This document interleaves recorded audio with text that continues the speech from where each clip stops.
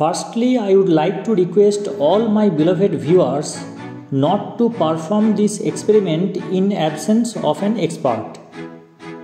Now friends, today I am going to show you how to make fire in hand without causing any damage to the skin. For this, we have to prepare a soap solution by mixing liquid dishwash in water. After that, we will create soap bubbles filled with highly inflammable butane instead of air by pressing the nozzle of a butane can inside the solution. In order to keep the hand safe, one must take care of the fact that the hand must be kept properly wet up to elbow and most importantly the face must be kept away from the palm.